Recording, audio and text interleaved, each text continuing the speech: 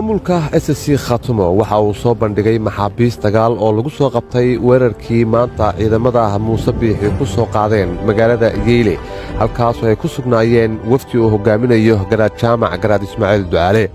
Maxaabiistan ayaa ciidamada xaqudurarka difaaca s c khatumo oo markii ay soo qabteen waxa ay ku wareejiyeen wafdigii garaadka oo ay weheliyaan cuqaal kuwaasi oo nabadayn u joogay deegaankaasi ugu dambayntii ciidamada xasilinta s c khaatumo ayaa maxaabiistan lagu wareejiyey waxayna u soo qaadeen caasimadda maamulka s c khaatumo ee laascanood halkaasoo ay ku wareejiyeen taliyaha xabsiga dhexe ee gobolka sool maxaabiistan oo ka tirsanaa ciidamada somalilan ayaa ka koobnaa toddoba xubnood oo qaar ka mida ay dhaawac ahaayeen iyadoona dhaawacyadooda loo gudbiyey goobaha caafimaad ee magaalada laascanood halkaas oo daryeel caafimaad loogu fidiyey islamar ahaantaana lagu dabibay.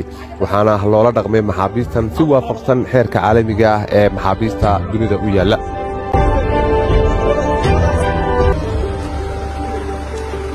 Bismillaah waxaan ahay dable dable farxaan yaasiin ismaaciil ka tirsan qaybta labiitobnaad gaar ahaan guutada barjeex oo laygu soo qabtay dagaalkii saa ka dhacay boqordhalkeen iyo yeyle dhexdooda. Markii lay soo qabtay waxaa laga keenay jaamac garaad ismaaciil iyo cuqaal badanuu ku jiro. Si wanaagsan baa layla dhaqmay. Haddana waxaa jooga gobolka sool ee xarunta magaalada laascanood si wanaagsan baa layla dhaqmay. Intaan soo socday intaan halkii joogay xataa halkii laygu qabtay iyo halkaa imkaan ku suganhayba si fiican baa layla dhaqmay. Waxaan u sheegayaa hooyaday amba dadka asxaabtaydii amba ciidankayga kuway daawanaya waa nabad qabaa. Dee lugtaar buu dhaawac iga soo gaadhay ragguna waa istila waana kala adkaadaan iminkan halkaasaanu ku suganahay.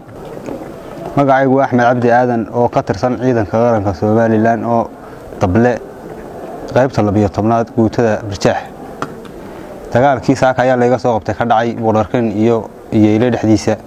Ilaa intii lay soo qabtay anigoo dhaawaca ayaa lay qabtay. Ilaa intaa lay soo qabtayna wax macnihii dhibaataa xataa hadal kulul ma arag. Macnaha waxa weeye si qabow baa lay soo qaaday. Garaadadaa lay keenay yeyle laygu keenay. Iminkana halkan waa tan lay keenay laascaanood dakhtarkan laascaanood halkaa aniga iminka ku sugan. Dee ehelkaygana waxaan leeyahay iyo asxaabtaydina. Waa nabadgelyo xaaladdu waana dee macnaha waxa weye dhib ma qabo.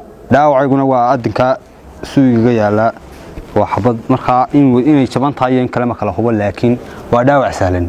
Oo macnaha waxa weye waa adinkaasoo meel kale waxba kama qabo. Magacaygu waa khaliif xaad shaac anuu saaka goor barqadiya baan imi meesha la yahdo buqdharkayn waa lay qabtay. Adugu markii goobtii layga qabanayey wax iga gaadhay mooye wax kale ima gaadhin hadda waxaan ku suganayaa yeylaa lay keeno garaadadaa lay keenay iminkana waxaa lay keenay. Laascaanood baan joogaa. Intaana nabad baan ku soo maro nabadgelyan ku imi magacaygu cabdixaafin axmed kana tirsan ciidanka qaranka gaar ahaan qaybta labatanaad guutada barjeex waxaa laga soo qabtay dagaalkii maanta ka dhacay yeele iyo boqolkiin dhexdooda iyadoo markaan lugtaa ka dhaawacmay iminkana waa nabad qabaa nimanbay dhallinyara bay soo qabtay. Way soo gudbiyeen keeneen garaadada xabsiga dhexe magaalada laascaanood